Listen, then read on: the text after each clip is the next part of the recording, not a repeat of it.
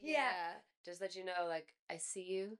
I don't know what it is, but that's okay. I see you and it's okay. And you're loved and you're worthy. And if there's something I can do to honor you and to help your journey, I am more than happy to do that. And, and,